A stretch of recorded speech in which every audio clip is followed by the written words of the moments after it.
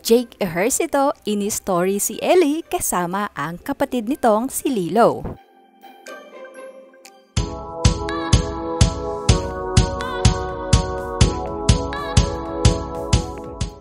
Welcome back to our channel mga ka-Celebrity TV. Narito na ang ating celebrity update. Labis ngang natuwa ang mga followers ni Jake nang makita ang photo sa story nito. Nakasama ni Ellie ang kapatid na Little Island girl na si Lilo.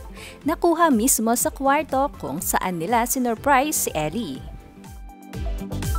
Cute na cute at halatang masaya ang mag-ate sa larawang ibinahagi ni Jake na talaga namang mapapangiti kahit sino ang makakita. Isang good morning photo naman ang ibinahagi ni Jake kung saan nakahiga at nakatingin sa kanya si Ellie na sobra namang nakapagpasaya sa puso ng mga fans ng mag-ama dahil sa sweetness ng mga ito. And of course ay proud dad si Jake sa art talent ni Ellie na siyang nagpinta sa mga upuan ng Harana Surf kasama ang kaniyang kaibigan.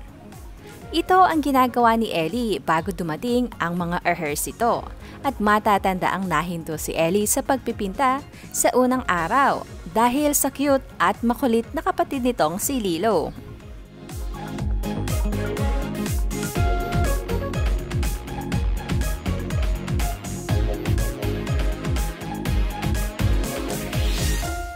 Maging ang tita Jerica ni Ellie ay halatang proud din sa talent ni Ellie at napa-story rin ito ng larawan na ginagawa nito.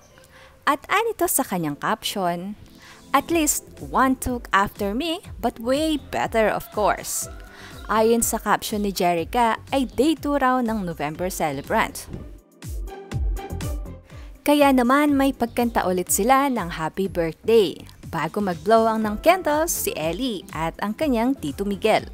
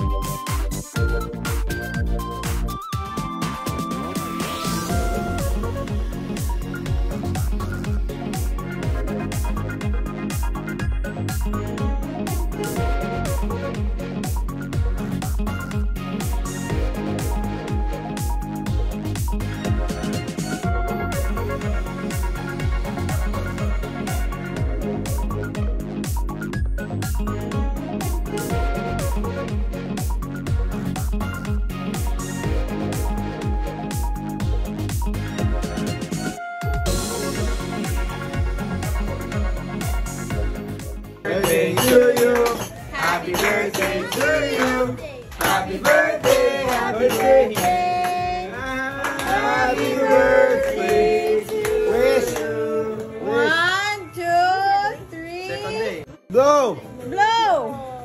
Yay! Samantala ay binigyan naman ni Mama Auntie ng bagong mini fitness challenge ang kanyang sarili. At iyan nga ay ang 30 minutes na paglalaro ng basketball sa loob ng 30 days na sinimulan niya kahapon. At makikita sa video ang kanyang ibinahagi na enjoy na enjoy niya ang isa sa paboritong sports at na-shoot pa ang kanyang layup. Kitang-kita rin na maalam talaga si Andy sa mga basketball moves na kanyang nilalaro na noon pang bago siya sumabak sa showbiz industry.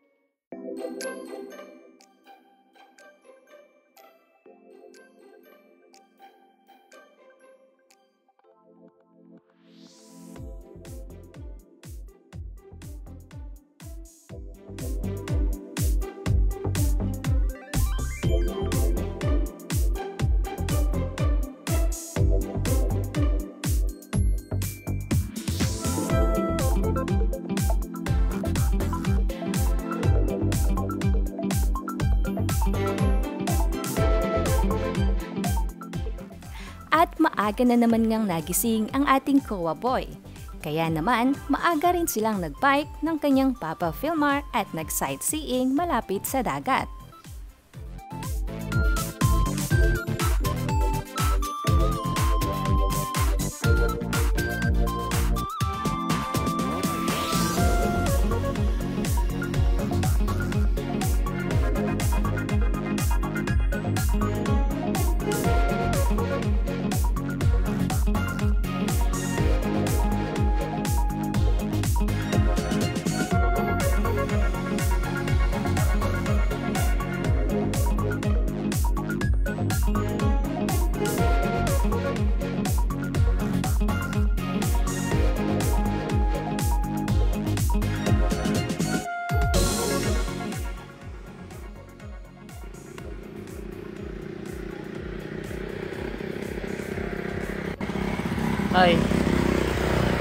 Hi.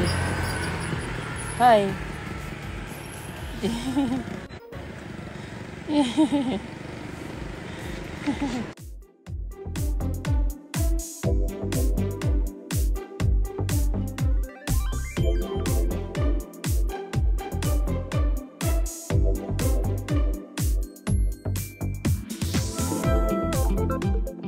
Patuloy naman sa pag-e-enjoy ang mga ehersito sa isla ng Siargao.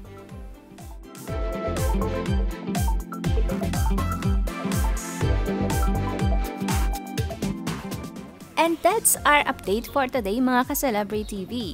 Maraming salamat sa panonood. Please don't forget to like and share this video.